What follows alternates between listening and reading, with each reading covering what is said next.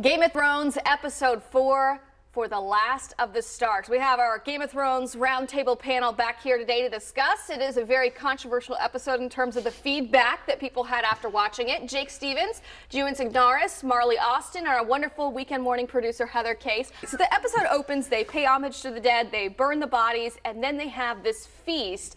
And there are some things that happens in this feast. Number one with Daenerys and Mm-hmm. how she feels at the beginning of the feast versus the end.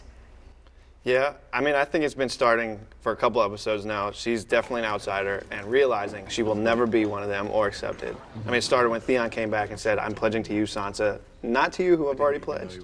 And she's observing people's reactions I around think the room. beyond being an outsider, she's also kind of lonely. I mean, she doesn't have, I mean, beyond Jon, she doesn't have any family, she doesn't have really any friends. She has advisors, but that's, keep that's different. And seeing, you know, uh, Tyrion and Jaime with Brienne and Podrick, like Mm-hmm. they're friends, they're family, they're celebrating together. She doesn't have that sense of community, I don't think. She is, I mean, she's the outsider. She was raised away from Westeros.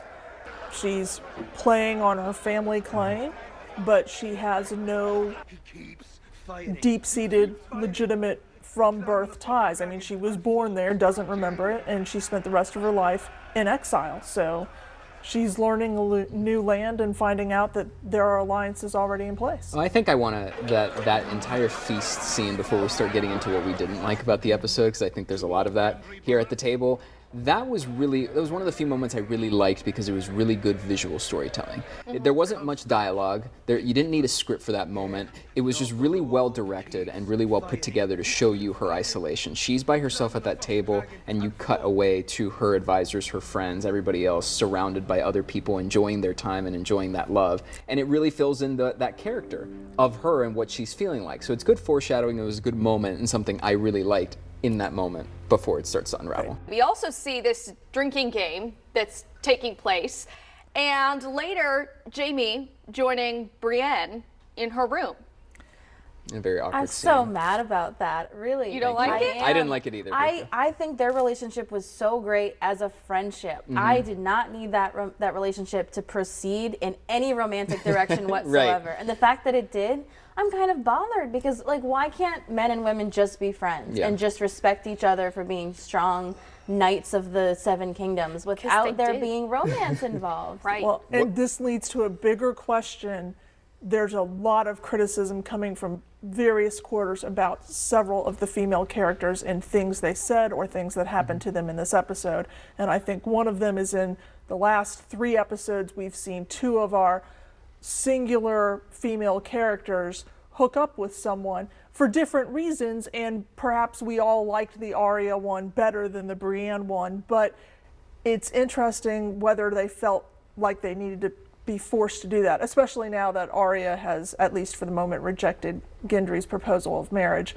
Um, yeah, it was an interesting moment in episode two, but now you're thinking about are they just kind of forcing their female mm-hmm. characters into more traditional roles instead of letting the knight and the assassin stand out for who their main character traits? Also, another character who was treated really badly, people think, is Missandei, who was, Yeah. you know, brutally murdered in this past episode. And people pointed out that she's the only black woman on this show, and she was like brutally murdered in chains as her final moment. I As a plot device. Right, and I think like her final word being that was very empowering, I think. Mm. But in the way that she died and the way that her death moves forward the plot, that's disrespectful to a lot of women of color from what mm. I've seen online. All right, so let's let's kind of do a wrap up. There's been a lot of criticism online with how they're playing out this mm-hmm. season. What are your overall takeaways so far with how quickly they're trying to move things along and maybe things that they are missing out on and the lack of depth in the storytelling? Uh, I'm here for the ride. I'm entertained. Like, yeah, I have my qualms with it, but I'm not going to sit here and complain right now. Like, I'm in the moment. I'm enjoying it. Mm-hmm. Yeah, I don't like some things, and I could criticize. I'm not the one writing the show, and if I wanted a better show, I could write my own. I agree that I'm on for the ride. I'm concerned, as I said last week, as to how they will wrap this story up and if they're going to do it in entertaining fashion. And I think we're getting closer and closer to reaching an end of a mega hit that we're going to look back on in TV history years, decades down the line, and write it down as that was disappointing.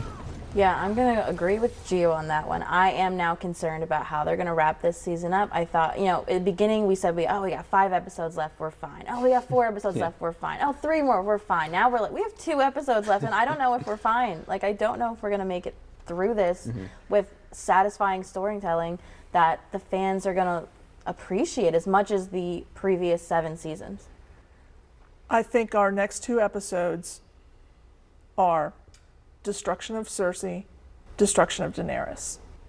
And there could be satisfying elements depending on how the mechanics of those things work.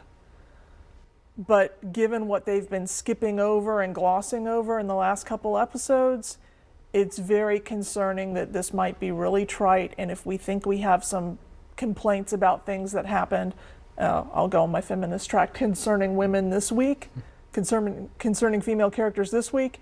It really makes me wonder if they can do it justice for the last two hmm. episodes. All right, well, we'll see. They're there. They're in Almost there. Westeros. They're at King's Landing. We'll see what happens in the next episode. And of course, we're going to be back next week talking more about what's happened leading up to the final, last ever episode of Game of Thrones.